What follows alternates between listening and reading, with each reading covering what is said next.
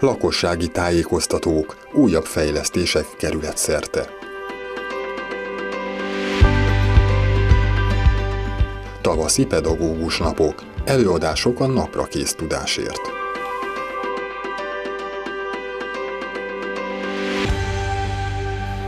Sok szeretettel köszöntöm kedves nézőinket, ahogy azt a múlt héten ígértük, most már visszakerültek a szerepek a megszokott helyre, és szeretettel köszöntöm az azt a másik végén Cserdiné Német Angéla polgármesterasszony. Jó napot kívánok, szeretettel köszöntöm Önöket és a kedves nézőket is.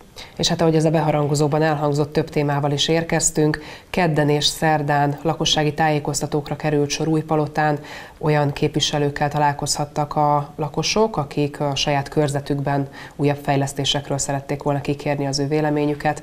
Hogyan látja polgármester asszony, hiszen mindkét alkalmon részt vett, mennyire voltak sikeresek ezek az egyeztetések?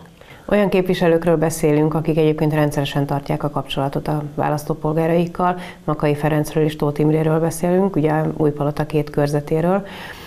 Makai képviselő úr azért hívta össze a körzetében élő lakosokat, illetve hát a mellette lévő körzet lakosait is, hogy kutyafuttatót szeretnének, illetve kérés volt, hogy kutyafuttató legyen ott a, a Kőrakáspark környékén, erdőkerülő Kőrakáspark keresztezésében, és ezért hívta a kutyásokat oda, hogy ők valóban mit szeretnének. Nyilván a kutyák nem tudtak válaszolni, már nagyon aranyos képek készültek, amikor a kutyáknak mutatja a képviselő úr, hogy milyen játékokat szeretnének, de viccet félretéve a kutyák nem válaszoltak, de a, a, a lakosok, akik kutyás gazdik, ők, ők válaszoltak, és ők szerették volna elmondani, hogy mit szeretnének.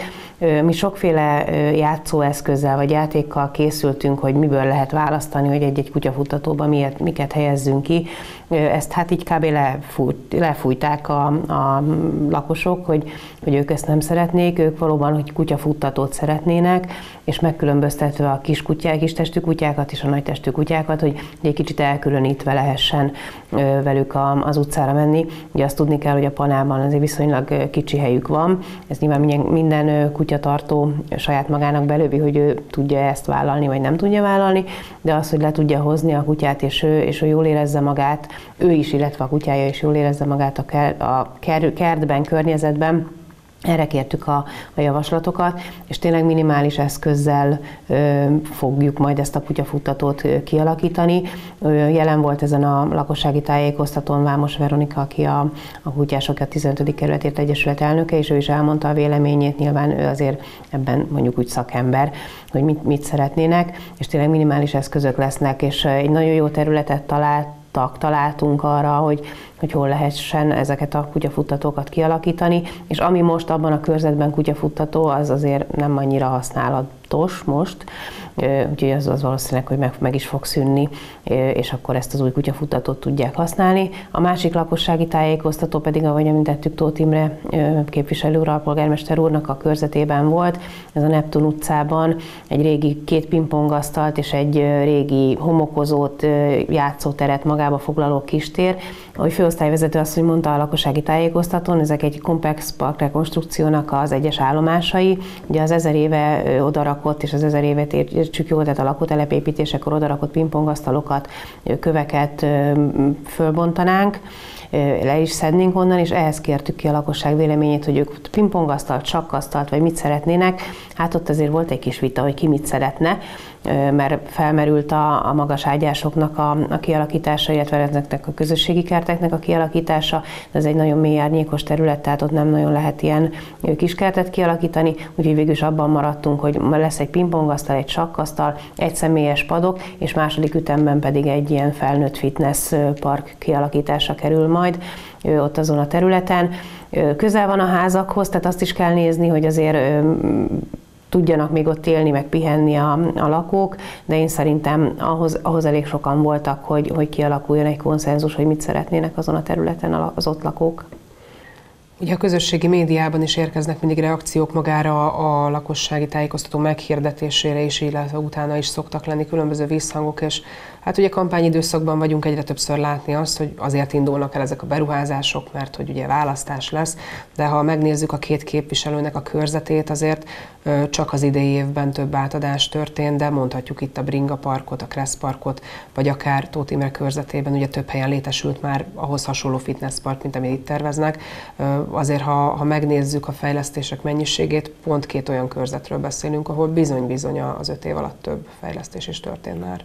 Igen, a képviselőknek ugye egyrészt a lelkesedése és a, az aktivitása is meghatározza azt, hogy, hogy mik kerülnek ki, és hát nyilván az önkormányzat költségvetése az első, ami meghatározza, hogy miket tudunk ott kialakítani, és valóban mind a két képviselőnél nagyon sok minden történt. Lehet mondani, hogy Újpalotán történt nagyon sok minden. Igen, ez a két képviselő Újpalotán képviselő, de ettől függetlenül Pestújhelyen is és Rákospalotán is történtek fejlesztések. Lehet, hogy ott mondjuk nem a, a kültéri fitness park, hanem mondjuk egy út, útszakasz felújítása történt rá Rákospalotán mondjuk az egyes körzetben, Lukács képviselő úrnál, vagy mondjuk fitnesspark kialakítása került a Karatna téren, ugye Gyurkó képviselő úrnál, tehát azért azt sem mondhatnám, hogy az annyira új palota. De valóban a két képviselőnél ilyenek, és én, én azt egyébként nagyon díjazom, és nagyon szeretem, hogy ők nem csak akkor mennek a választókhoz, amikor egyébként mondjuk két hónap múlva választás van, hanem mind a polgármester úr, mind Makai képviselő úr napi szinten, de heti szinten minimum járja a körzetét, és, és látja és, és érzékeli azt, hogy az ott lakók mit szeretnének. Képviselő úr ugye minden nap bombáz engem, Makai képviselő úr például e-mailekkel, vagy a főosztályvezető asszony. Tehát azért, azért azt látni kell, hogy nem csak azért, mert most választások jönnek. Az, hogy mikor, mire van forrás, azt meg nyilván az önkormányzat elfogadott költségvetése biztosítja.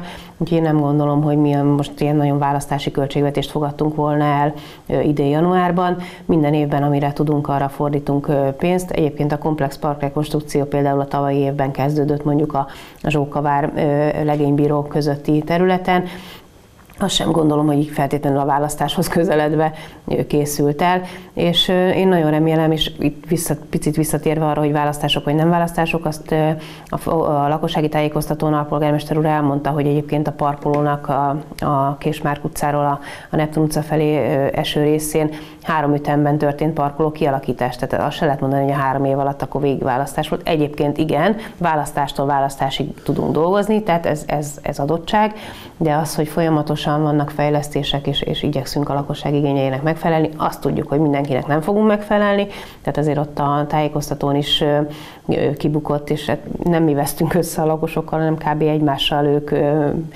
harcoltak, hogy akkor ki mit szeretne. Úgyhogy én nagyon remélem, hogy ezek, ezeket a fejlesztéseket, amiket végrehajtunk, ezeket nem választási kampánynak veszik, és, és a lakosság megelégedésére történnek egy kicsit más vizekre eveznénk, hiszen a tavaszi pedagógiai napok ezen a héten zajlanak itt a kerületben, és a szerdai megnyitón itt a díszteremben ön is részt vett. Mm, hogyan látja, hogy ez a háromnapos programsorozat hogyan segítheti a kerületi pedagógusok, óvoda pedagógusok munkáját, és ö, mennyire tud ez egy széles palettát nyújtani azoknak, akik egy kicsit szeretnének betekinteni az ő munkájukba?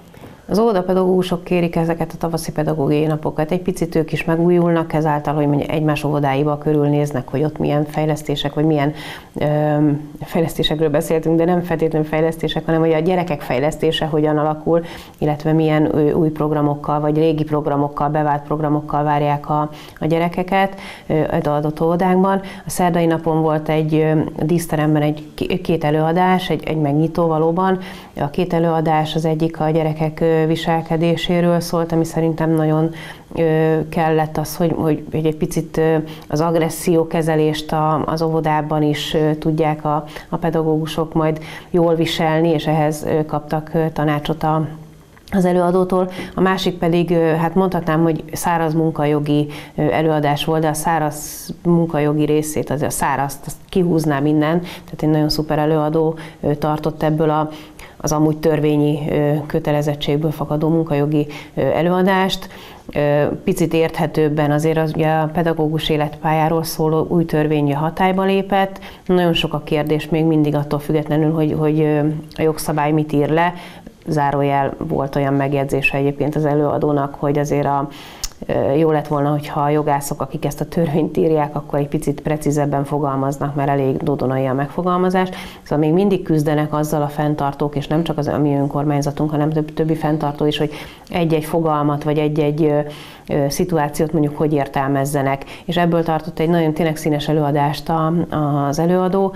Én nagyon remélem, hogy ebből nem lesz később feszültség, hogy mondjuk az átfedési időt hogy kell kifizetni egy óvodában, és ez lehet, hogy a nagy lakosságot annyira nagyon nem érdekli, de aki óvodapedagógusként dolgozik, akár a mi óvodáinkban, akár bármelyik másik óvodában, azért ez komoly feszültséget okozhat, hogy mi ezt, hogy átfedési idő, pláne úgy, hogy egyébként nincsenek feltöltve sajnos az óvodapedagógusi állások mert hogy nincsen óvodapedagógus nagyon sok helyen.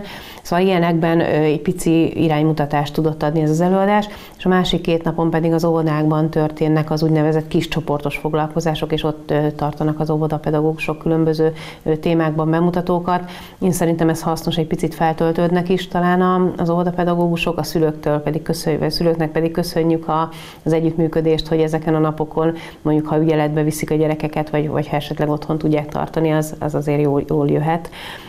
Szerintem ez, ez kell egy, egy óvodás korosztálynak, egy óvodapedagógusokat tömörítő hátszervezetnek, mondjuk így igazából a három óvodának, az óvodapedagógusainak. Három napról beszélünk, de, de szerintem ők nagyon sokat tanulnak ebben az időszakban kíváncsian várjuk majd, hogy ez a gyakorlatban hogy ültetődik át, és mivel az óvodáknak is gyakran vagyunk a vendégei egy-egy rendezvényen, megnézzük majd, hogy akkor ez, ez hogyan is néz ki. Én nagyon szépen köszönöm, hogy elfogadta a meghívásunkat. Köszönöm szépen a lehetőséget. Önöknek köszönöm szépen a figyelmet, jövő héten a megszokott időben ismét várjuk Önöket. Viszontlátásra!